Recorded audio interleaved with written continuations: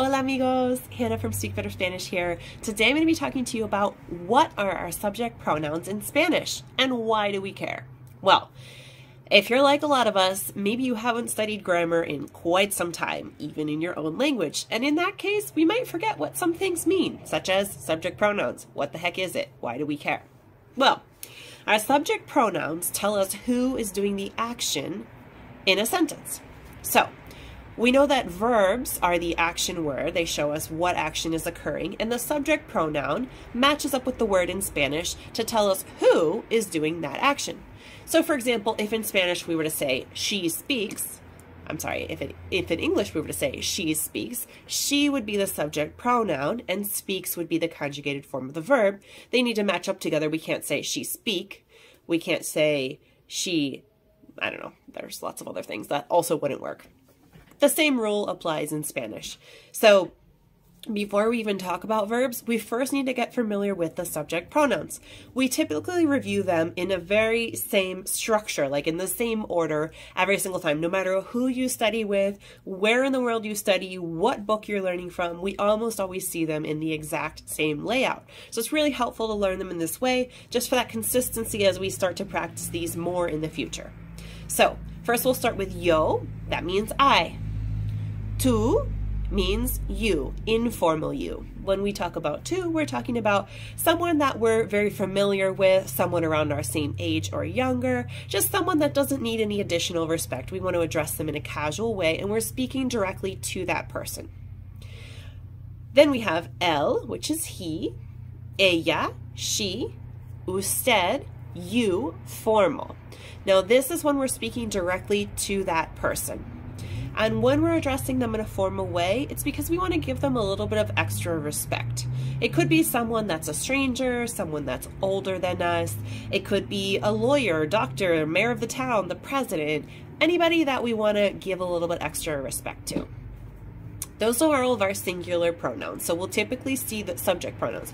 We'll typically see those in a in a vertical column on the left-hand side, starting with yo, then tu, then él, ella, usted. And then on the right-hand side, we're going to see our plural subject pronouns. So we're going to have nosotros, which means we. Nosotras also means we, but when it's a group of all females that we're speaking about. Vosotros, used only in Spain, but that's the informal plural. So it's like we're saying y'all when we're addressing a group. Vosotras, same thing, informal plural, used only in Spain, but also this one applies just to a group of females. So when we have a bunch of females there and we're talking directly to them, vosotras. Then we have ellos, which is either a mixed group or a group of all males, and we're speaking about them.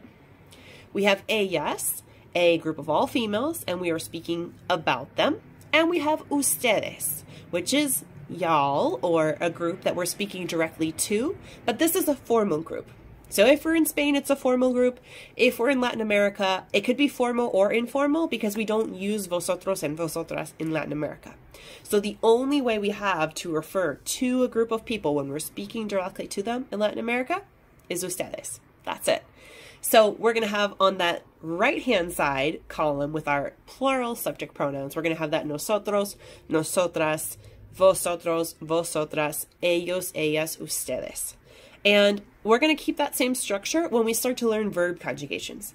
So as we start to work with AR, ER, and IR verbs in the present tense or any other tense that we might choose to learn, we're going to see them in that same exact layout. So it's really helpful to get familiar with that. And it's really helpful to understand the differences between some of the different uh, use cases. Like if I'm speaking directly to someone, doesn't matter if it's a male or female? Well, to some extent, yes, but in the case of choosing the subject pronoun, it doesn't, because our only subject pronouns when we're speaking directly to one person is either tu or usted. So we just have to decide if it's formal or informal.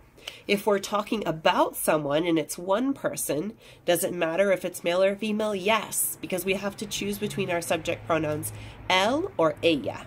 So some of these kind of things play into it. Once you start to get familiar with the subject pronouns, verb conjugations will be a lot easier to deal with. So it's just something good to, yeah, just really familiarize ourselves with and one of the kind of the building blocks as we're starting to learn Spanish grammar which is very helpful. Thank you guys so much for watching. If you found this video helpful, please subscribe below and I'll see you in the next video. Adios.